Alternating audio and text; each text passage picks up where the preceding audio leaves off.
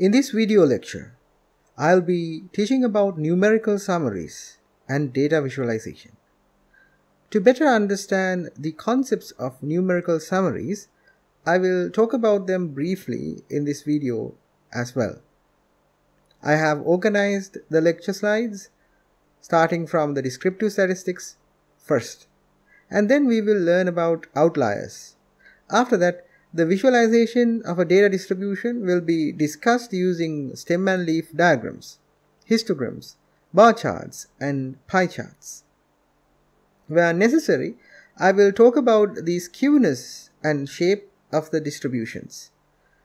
At the latter part of this lecture, I'll be talking about how to visualize two variables and then move on to develop a correlation coefficient as a prime start to regression analysis.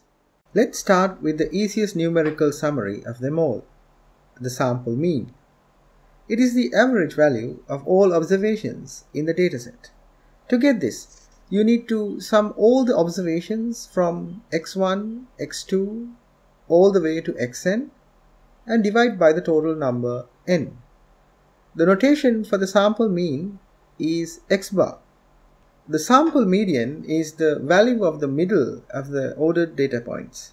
You can arrange the dataset in the ascending order and then find this value as the n plus 1 divided by 2 number in the dataset. If n is an odd number, you would find that the dataset becomes perfectly divided into two equal numbered sets from the median point. If the dataset contains even number of elements, then the median is the average of two adjacent values that correspond to the median number found using n plus 1 divided by 2 in the ordered dataset. We call the most frequent value or in the case of group data the midpoint of the most frequent class the sample mode. This example shows values obtained in 40 rolls of a die. You have 6 values with their respective frequencies. To get the total number of values, you can multiply the frequency and sum them up together. The sum is 132.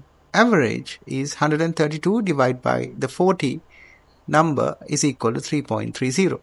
The sample median is 3, sample mean is 3.05 and sample mode is 1.